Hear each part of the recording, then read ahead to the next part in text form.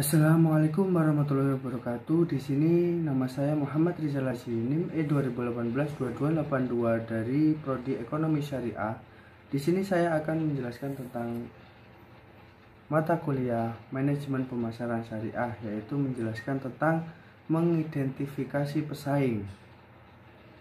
Identifikasi identifikasi pesaing meliputi hal-hal sebagai berikut. Yang pertama yaitu jenis produk yang ditawarkan. Kadang-kadang sebuah perusahaan tertentu memiliki produk yang beragam. Tugas perusahaan adalah mengidentifikasi secara lengkap dan benar produk apa saja yang dimiliki oleh pesaing. Yang kedua yaitu melihat besarnya pasar yang dikuasai atau market share pesaing.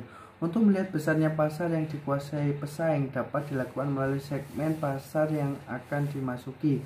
Dalam hal ini perusahaan harus mengestimasi besarnya pasar, pasar dan market share masing-masing. Yang ketiga yaitu mengidentifikasi peluang dan ancaman. Untuk melihat besarnya pasar yang akan dikuasai dapat dilakukan melalui segmen pasar yang akan dimasuki. Dalam hal ini, perusahaan atau market share yang harus diketahui adalah untuk masa sekarang dan di masa yang akan datang, baik yang dikuasai pesaing maupun secara keseluruhan. Yang keempat yaitu identifikasi keunggulan dan kelemahan.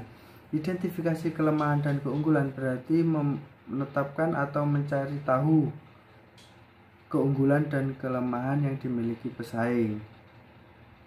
Yang kedua yaitu menjelaskan tentang menganalisis pesaing. Setelah mengidentifikasi para pesaing utamanya, perusahaan harus mengetahui dengan pasti keunggulan dan kelemahan serta tujuan strategi mereka.